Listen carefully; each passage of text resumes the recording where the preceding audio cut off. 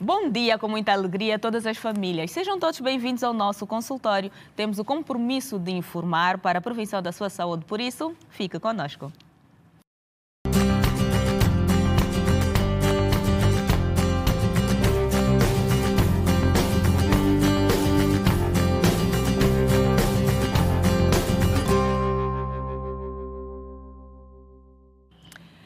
Próstata. O que é? Vem a ser? O que será? Nós ouvimos falar, mas nem sempre conseguimos identificar, não é mesmo, doutor? Com certeza. Mas a próstata, quem tem é o homem ou a mulher? É o homem. Então vamos a isso. É uma pequena glândula responsável pela produção do líquido seminal, eh, que é o líquido que contém os espermatozoides. Prostatite é o tema de conversa de hoje. Está aqui o doutor Ernesto Alexandre para tirar todas as dúvidas. Bom dia, doutor. Bom dia, bom dia. Muito obrigado pelo convite que nos foi formulado.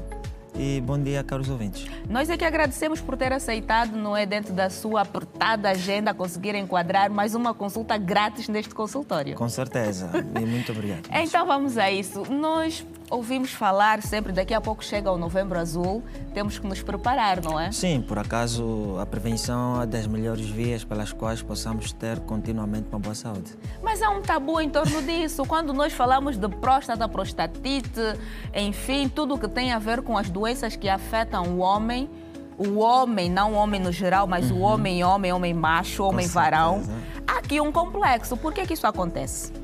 Certo, infelizmente nós estamos numa era em que uh, as pessoas, os homens são muito mais difíceis de aceitarem-se em termos patológicos. É mais fácil as mulheres, as mulheres uh, reconhecerem as suas situações clínicas do que os homens. No entanto, tem sido um tabu porque também havia vários mecanismos de pesquisas da próstata que levavam com que muitos dos homens perdiam o prazer de chegar até um consultório Exato. médico e fazer o toque retal. No entanto. Mas ainda existe, embora que houve um avanço na medicina, não é? Que já não precisa ser com toque humano retal, ou toque retal, mas ainda é feito e se calhar é, é o melhor método. Quer dizer, eh, não podemos dizer que é, é um dos melhores métodos, mas é um dos métodos. Sim. Porque por intermédio do procedimento, por intermédio das tecnologias médicas, consegue-se obter várias informações clínicas da saúde da próstata, sem antes, porém, fazer o toque retal. Eh, no entanto, eh, com, o avanço da medicina, há muitos homens agora que procuram saber da saúde da próstata. Isso é bom, não Por é? Acaso é a partir de que idade é que o homem deve procurar um médico para fazer essa, esse, esse rastreio? A partir dos 35, porque na realidade isso varia muito, porque nós temos recebido jovens, porque há uma febre atualmente de, de consultas de urologia. Sim. sim. E infelizmente há muitos médicos que fazem avaliações que, do meu ponto de vista, é muito precoce em, em, pacientes que apresentam alguns sintomas da próstata, que, de prostatite nesse caso, que não é propriamente uma prostatite, é, possa ser uma outra situação que adveu aqueles sintomas. Mas, no entanto, muitos médicos é, dão a si já como um, um, um, estado clínico de prostatite e leva com que esta pessoa vive com um estado psicológico não boa, e chegam no consultório desesperados, jovens de 28 anos, de 26 anos, que têm tido avaliações que, no meu ponto de vista, são avaliações não muito concretas. Precipitadas, Precipitadas. e muitas vezes nós chegamos a ter uma segunda avaliação e conseguimos obter que não tem nada a ver com aquilo okay. que são sintomas. Doutor Alexandre, dentro da, da, da, da medicina natural, uhum. como é que estes casos são, uh, são, são vistos, são analisados? Certo. É, são analisados como uma situação que pode ocorrer a qualquer ser humano, mas que tem solução. Não uma situação de dor de cabeça, porque quando fala-se de prostatite é apenas uma inflamação da, da glândula, né, que já foi cá definida, que faz parte do sistema reprodutivo masculino, que, no entanto, por intermédio de infecções excessivas, uh, bacterianas, neste caso, vão afetar esta mesma glândula, criando dificuldade naquilo que é a sua funcionalidade. Muito bem. E o que, é que está na causa desta inflamação? Que tipo de bactérias ou como é que o homem contrai uma infecção que afeta a próstata? Certo. É, é, é sabido que, por intermédio dos rins, nós temos um sistema urinário que nos permite com que por intermédio da uretra é liberado elementos não saudáveis. No entanto, a, a saúde não boa dos rins pode liberar consigo elementos não estáveis que podem chegar até a próstata, Exato. como também ah, uma vida sexual muito ativa em que, por intermédio eh, de bactérias como dissífilis, gonorreia, o homem pode contrair eh, um estado clínico da próstata não boa e criando uma interferência do seu funcionamento. No entanto, tendo sífilis ou gonorreia pode ser uma das causas também que possa afetar a próstata. Salientar que estas são as DTS eh, mais comuns na nossa sociedade. Com certeza, por isso que a prevenção sexual é muito importante. Porque uma das maiores causas da prostatite, que é a inflamação da, desta glândula, são mesmo as infecções. E que funcionalidade, ou seja, que- qual é o papel da parceira nestes casos? Porque o, o homem é aquele que se retrai, o homem tem complexo, é, o homem acaba por esconder por causa da sua masculinidade, da sua virilidade e acaba sentindo-se afetado. A mulher, como é que deve se comportar? Num- Numa sociedade em que nós vivemos, não é? Em que agora temos as empoderadas, o feminismo, Ok. como é que a mulher deve se revestir para poder abraçar este parceiro? Ok, a princípio, a, a saúde de casa pertence à mulher, independentemente do homem ser o provedor econômico. No entanto, a mulher deve conhecer o estado biológico Sim. do seu marido para, para poder ter a maior capacidade de avaliação. Por exemplo, quando há uma baixa capacidade sexual em casa, porque quando há problema na próstata também o homem perde uma boa capacidade sexual, pode ter ejaculação precoce, impotência sexual.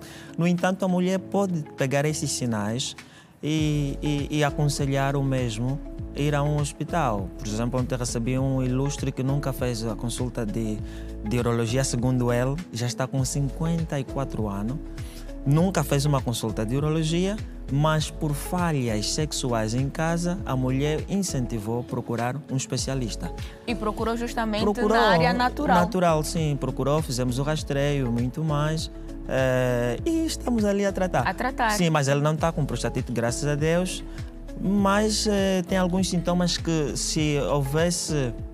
Se não houvesse mecanismo de pesquisa, poderia ser tido como alguém que tem problema de prostatite. Porque eh, nós estamos numa fase de frio, né? Que estamos a, a terminar. Sim, está no terminando. entanto, Praticamente já terminou. já O calor terminou. já se faz sentir. Certo. No entanto, vamos perceber que ah, as pessoas urinavam muito por causa do frio e por aí fora. E, e, esses- e urinar constante é um dos sintomas da inflamação da próstata. E há médicos, só basta ouvir do paciente que está a urinar muito, acaba por ter eliminações de que já é um problema de prostatite. Mas não é, porque é já um fenômeno biológico neste período o homem urinar muito ou mesmo a mulher urinar muito.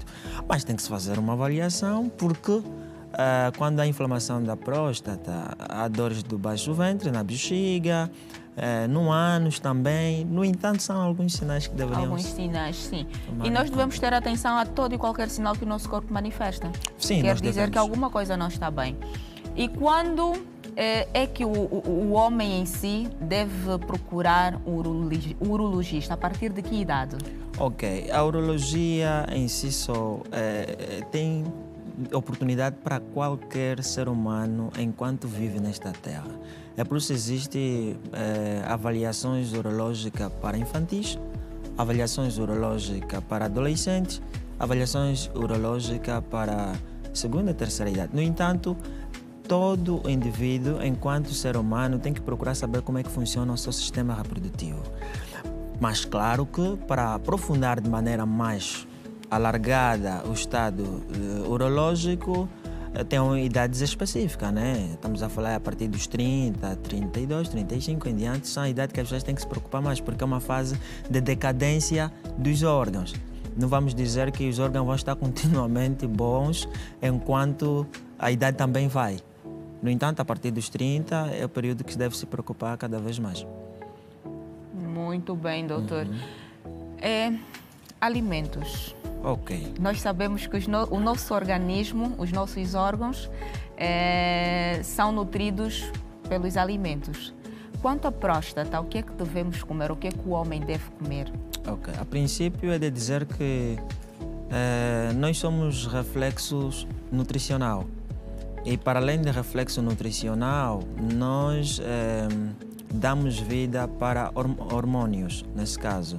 E a glândula prostática necessita realmente de alimentos ricos uh, que possam dar vida a ela, como por exemplo o tomate maduro, é um dos, um dos alimentos que contém proteína, quer dizer, proteína não, nutrientes que precisa mais e mais, como a couve, é, estamos a falar aqui na nossa fauna angolana, estamos a falar o o uso do gengibre também, por causa da sua capacidade energética, vai dar vida na próstata. Sim. Alimentos como frutas, porque as frutas em si são ricas em energias. No entanto, tudo quanto tem as propriedades primárias, de maneira mais resumida, que são as, as, as hortaliças, verduras, legumes, todas elas são necessárias para a manutenção do sistema reprodutivo masculino. Muito bem, doutor. Somente o pepino, né? Porque pepino é uma, tem uma estrutura. E o abacate? O abacate também. O porque... abacate e as sementes também, não é? Com Algumas certeza. sementes que também fortalecem o sistema imunológico masculino. Com certeza. Ou reprodutor masculino. Sim, por exemplo, a semente de, de, de, de, de abóbora. De abóbora, a semente de, girassol, de girassol também, sim. Elas contêm propriedades e têm também proteínas e fibras que são necessárias. Porque nós somos o que comemos. O porco vamos falar daqui a pouco. Do facto, nós somos o que comemos e é desta forma que eu digo assim para ter uma alimentação saudável. Aproveite também faça a ingestão de água agora para ficar hidratado e voltar conosco. Porque é hora de conectar-se, visita as nossas redes sociais, Rede Girassol Angola, Nayel Silva Comunica, tem presença e você sabe quais são as nossas redes. Volte conosco em um até já.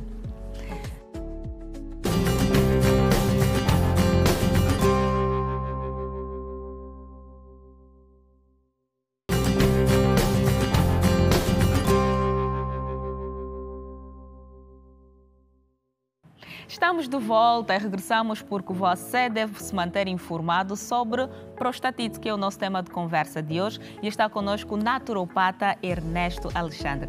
Doutor Ernesto, nós, nós conhecido por aqui... Moenze. Ok, mais conhecido por? Moenze Muinga. Moenze Muinga, é isso? Muinga. Muinga. E o que é que significa? Protegido no arco. Ai, Jesus Cristo, ainda bem que está protegido. Okay. Doutor, nós temos um quadro em uhum. que os telespectadores fazem pergunta e o doutor responde. Okay. Está preparado? Não tem medo das perguntas, pois não? Não, não, não está. então chegou o momento em que você vai ver o doutor responder as perguntas que vocês fazem. Olhos na tela para o doutor responder.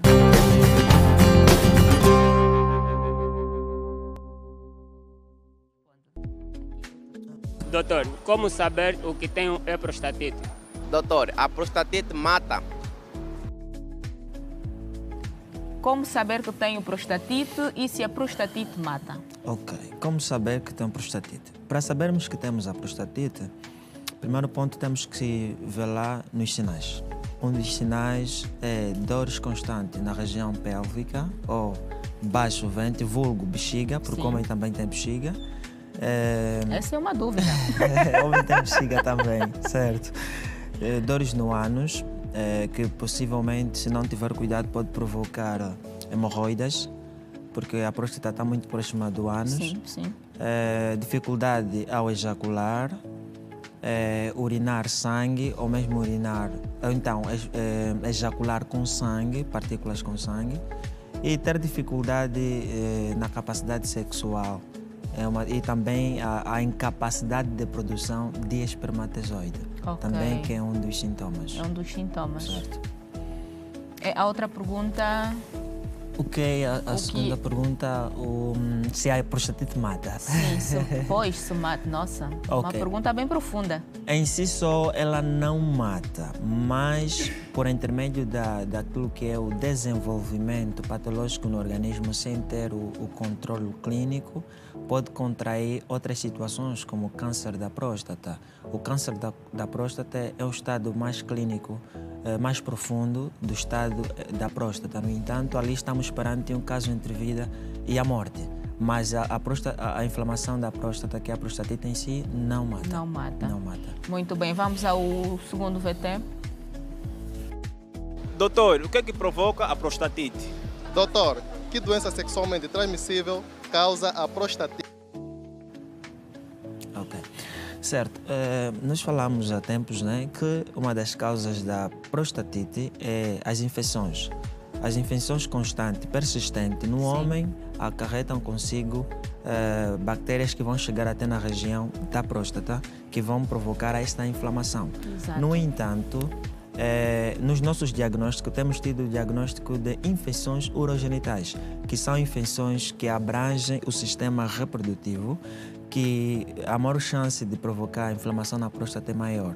No entanto, a, a sífilis, a gonorreia são maiores elementos eh, que podem provocar a, inflama, a inflamação da, Da próstata. próstata. Com certeza. Muito bem, doutor. Estão respondidas as vossas questões. Agradeço por terem participado e podem continuar fazendo pelas nossas redes sociais, no Facebook, eh, Instagram, TikTok, enfim, em todas as redes em que a Rede Girassol está presente. Nós vamos continuar a nossa conversa porque prostatite é um tema que de facto vem causar eh, muitas interrogações às pessoas. Com Será certeza. que ela pode ser fator de infertilidade? Certo, por ela ser uma glândula que libera líquidos importantes para o bem-estar do homem e do bem-estar de uma receptora, que é a mulher, no entanto, ela pode provocar uma infertilidade. No entanto, o mau estado dela, claro, vai criar incapacidade de produzir o, sêmen, posteriormente o espermatozoide, no entanto, acaba por ser infértil. Quais, eh, que outras consequências não é, é que a, a, a prostatite pode gerar no, no, no homem? Será que ela afeta outros órgãos do corpo ou pode gerar outras patologias para além do cancro da próstata? Sim, pode provocar a dificuldade a urinar também, porque, por exemplo, o aumento da próstata, ela pode hum, criar também cálcios, calcificação, que são pedras, as chamadas pedras que surgem nos rins, também na próstata pode chegar. Então, se ela não tiver cuidado clínico, vão criar outros problemas, como hiperplasia da próstata, vão provocar eh, calcificação na próstata e, posteriormente, o câncer da próstata. No entanto, tudo é um progresso, se Exato. nós não tivermos cuidados primários. No entanto, pode sim provocar e, e um dos elementos mais que sente a dificuldade é, essa, é o pênis, porque vai perder a ereção, Sim. vai perder o jato urinário, onde vai ter que ser obrigado a, a- usar argalha e muito mais. No entanto, são as consequências adversas consequências. que surgem. E agora, doutor, eu já tive prostatite, fiquei curado e ela voltou. Ok. Nós temos que saber que o ser humano é variável. Nós não somos um ser humano, não, não somos estático. Enquanto vivermos nesta terra, eh, nós estamos propensos a ter uma doença e ser curado e ao mesmo tempo retomar, se nós não tivermos cuidado pessoais que possam permitir com que nossos órgãos estejam estáveis diariamente. No entanto, cuidados primários é as melhores vias para que nós possamos evitar qualquer tipo de patologia. No entanto, eh, a, a próstata, eh, a prostatite pode sim retomar se a pessoa não tiver o cuidado primário. Como nos prevenir? Eu já não quero mais ter essa doença no meu corpo. O que é que eu devo? O foco aqui é prevenção. Certo. O que é que eu devo fazer? É, que, tipos, que tipo de vida devo ter? Qual será o estilo de vida para eu não ter prostatite? Vamos É. começar por aí. Não ter uma vida muito sedentária. Porque nós somos Sim, sedentários. somos Primeiro sedentários. ponto, Primeiro angolano ponto. é sedentário, gosta do, da, do- da prática do ginásio braçal. Conhece o ginásio braçal? Vai lá, pode dar um toque. O ginásio braçal. Ah, ok, ok. Pois, nós ah, gostamos sim, sim, deste sim, ginásio, constantemente sim, constantemente, somos Fazer um novo ginásio, sedentários. ok. Então, Uhum. que, que estilo de vida é que devemos adotar? Temos que ser dinâmicos. Por exemplo, é só olharmos nos nossos ancestrais, né? eh, que chegaram até os 80, 90 anos com a próstata estável, porque eh, tinham a vida de campo, né? Iam ao campo e nós estamos na cidade, temos a vida de ir ao trabalho. Para além de ir ao trabalho, quer sentar muito, porque o homem também não pode sentar muito. Principalmente os caminhonistas, a chance de terem problemas eh, na saúde da próstata é maior. É porque maior. Sentam muito. é Então, uma temos vida... que, mesmo nós que trabalhamos em escritório, temos que alternar. Com certeza, levantar, termos tempo para descontrair. Banhos de saunas também é muito importante. Muito bom. Eh, banho a vapor na região Muito urológica é muito importante, eu recomendo isso aos pacientes. No entanto, o estilo de vida é, maior, é o maior mecanismo de como nos cuidar.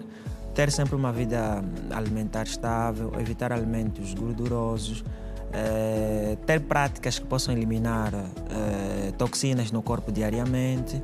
E aí vamos retomar cada dia mais a nossa vida. É só isto, a regra é isto. Doutora, aqui um- uma frase, não é, que, que as pessoas muito usam, É, principalmente para os homens, estamos a falar de uma doença que afeta o, o- o fo- o campo dos homens, e a frase é a seguinte: Quanto mais parceiras eu tenho, melhor estado eh, ficará a minha próstata. É verdade ou é mentira?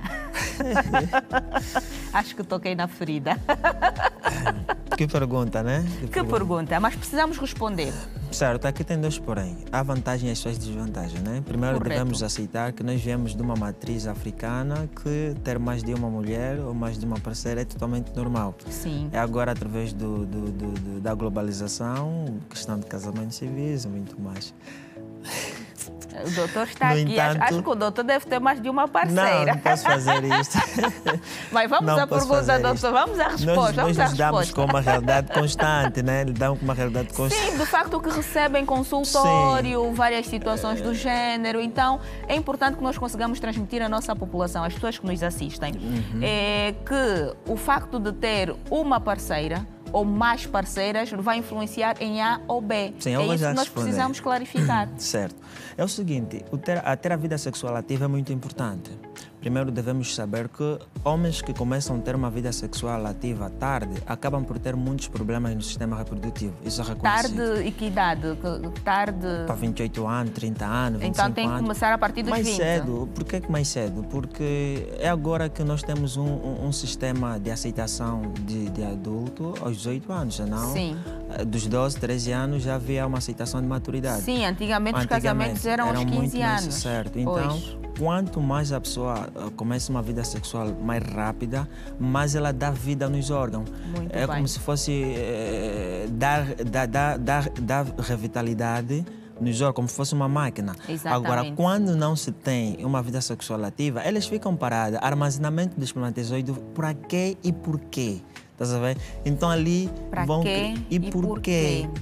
Então, as pessoas têm que saber com quem namorar e mais namorar com propósito. E como namorar. E como namorar. E outro porém, ter vários relacionamentos não é também sinônimo de ter a saúde da próstata estável. Por quê? Porque eh, as infecções são obtidas sexualmente. A sífilis e gonorreia. No entanto, há um ATT. Sim. Mas que ter sexo um, eh, ativo é uma coisa muito linda, né? É uma coisa que vai motivar os órgãos a estar cada vez mais estável para revitalização. Sexo legalizado, Com. Certeza, legalizado. Não estamos Casado. a recomendar. Com certeza. Pois. Não estamos a recomendar Que coisa sexo. séria, doutor. Com certeza. Muito bem. Doutor, no Certo. entanto, no meio de tudo isso, não é? Eh, nós sabemos que a, a- a- a- medicina natural apresenta muitas, muitas opções boas. Eh, como é que tem sido a base do tratamento, não é?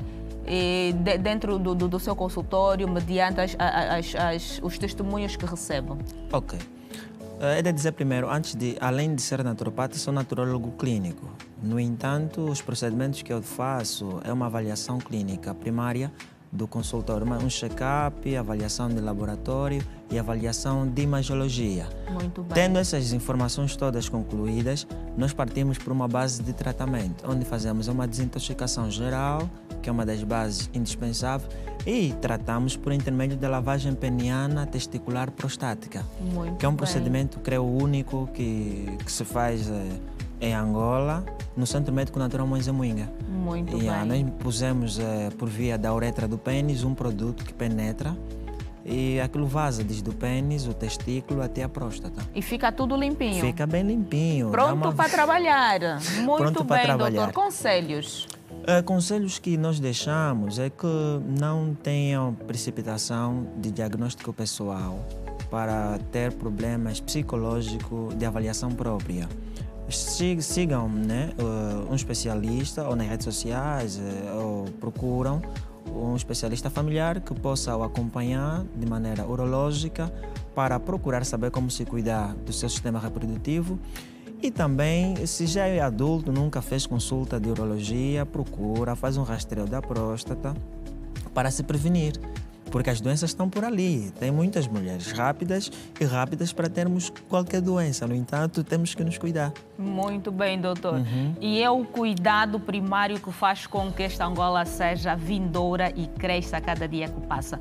Visitar o médico, sim, de preferência fazer o check-up uma vez ao ano, no mínimo, caso possa ter mais e melhores condições, faça duas vezes ao ano para poder ter uma saúde eh, tranquila, saúde abundante e também fazer com que os seus à sua volta se sintam confortáveis. Visite as nossas redes sociais, já as conhece, Rede Girassol Angola, as minhas, Nayel Silva Comunica. Nós estamos também presentes no canal 20 da ZAP, 54 da TV Cabo e 508 da DSTV. Muito obrigada por manter esse consultório aberto. Fique conosco sempre. Não se esqueça de visitar também o nosso portal giranoticias.com e é um forte abraço. Até já.